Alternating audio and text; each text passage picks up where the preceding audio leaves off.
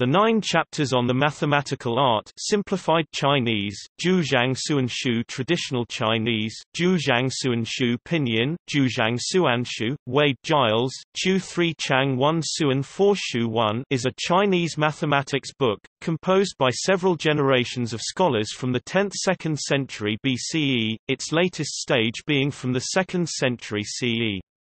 This book is one of the earliest surviving mathematical texts from China, the first being Suan Shushu 202 BCE to 186 BCE and Zhoubi Suanjing, compiled throughout the Han until the late 2nd century CE. It lays out an approach to mathematics that centers on finding the most general methods of solving problems, which may be contrasted with the approach common to ancient Greek mathematicians, who tended to deduce propositions from an initial set of axioms. Entries in the book usually take the form of a statement of a problem, followed by the statement of the solution, and an explanation of the procedure that led to the solution.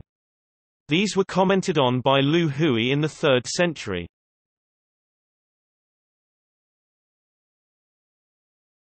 Topic: History of the book.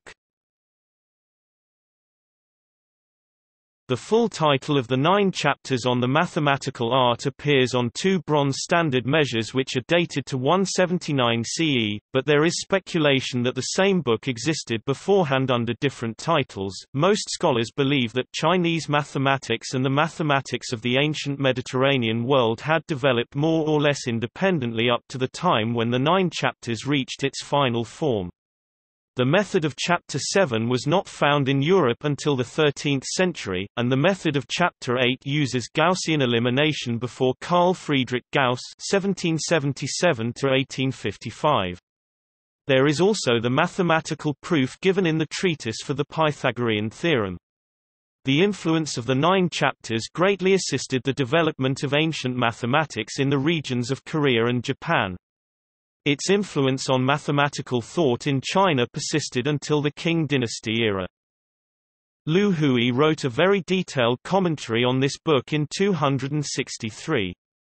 He analyzes the procedures of the nine chapters step by step, in a manner which is clearly designed to give the reader confidence that they are reliable, although he is not concerned to provide formal proofs in the Euclidean manner.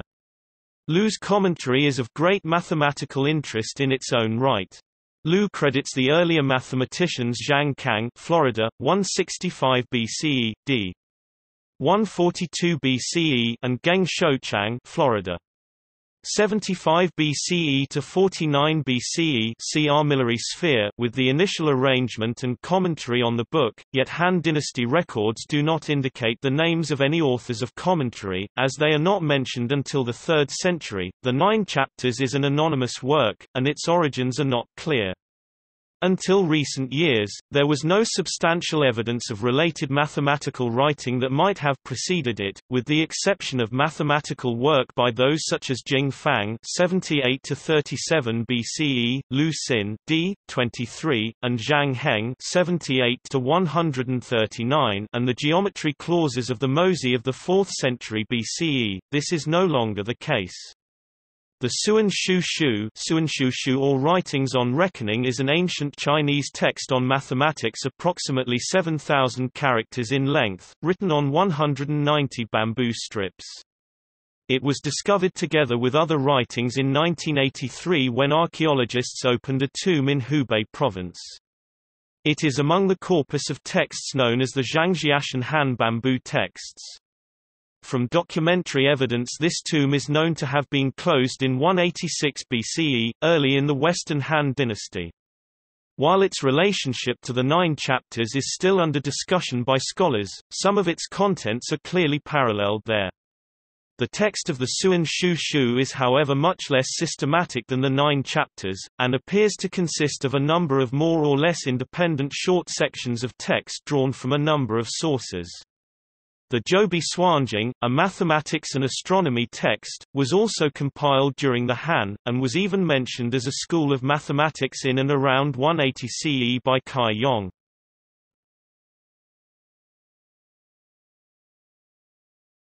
Topic. Table of contents Contents of the nine chapters are as follows Fangtian function, bounding fields. Areas of fields of various shapes, such as rectangles, triangles, trapezoids, and circles, manipulation of vulgar fractions. Liu Hui's commentary includes a method for calculation of pi and the approximate value of 3.14159. Sumi Sumi, millet and rice. Exchange of commodities at different rates, unit pricing, the rule of three for solving proportions, using fractions. Shui-Fen Cuifen, proportional distribution. Distribution of commodities and money at proportional rates, deriving arithmetic and geometric sums. Xiaoguang Xiaoguang, reducing dimensions. Finding the diameter or side of a shape given its volume or area. Division by mixed numbers, extraction of square and cube roots, diameter of sphere, perimeter and diameter of circle. Shangong Shangong, figuring for construction. Volumes of solids of various shapes. Junshu Junshu, equitable taxation. More advanced word problems on proportion, involving work, distances, and rates. Yingbuzu Yingbuzu, excess and deficit. Linear problems in two unknowns solved using the principle known later in the West as the rule of false position. Fangsheng Fangcheng, the two-sided reference i.e. equations. Problems of agricultural yields and the sale of animals that lead to systems of linear equations, solved by a principle similar to Gaussian elimination. Gogu Gugu, base and altitude. Problems involving the principle known in the West as the Pythagorean theorem.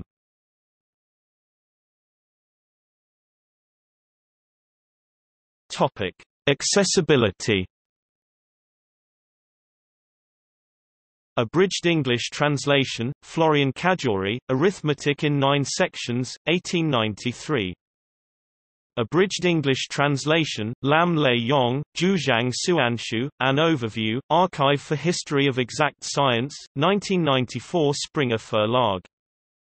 A full translation and study of the nine chapters and Liu Hui's commentary is available in Shen Kangshen, The Nine Chapters on the Mathematical Art, Oxford 1999. ISBN 0-19-853936-3 A French translation with detailed scholarly addenda and a critical edition of the Chinese text of both the book and its commentary is Chemla, Karine, and Shuchen Guo, 2004. Les neuf chapitres, Le classique mathématique de la Chine ancienne et ses commentaires. Paris, Dunod. ISBN 978-2-10-049589-4. German translation, Kurt Vogel, Neun Bucher Arithmetische Technik, Friedrich V. Vague und Sohn Braunschweig 1968 Russian translation, E. I. Berezkina, Mathematika v Devyaty Niga, Matematika v Devyaty Niga Moscow Science Press 1980. Japanese translation,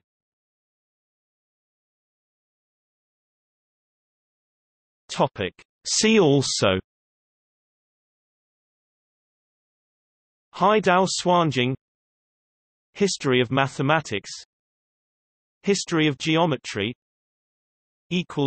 Notes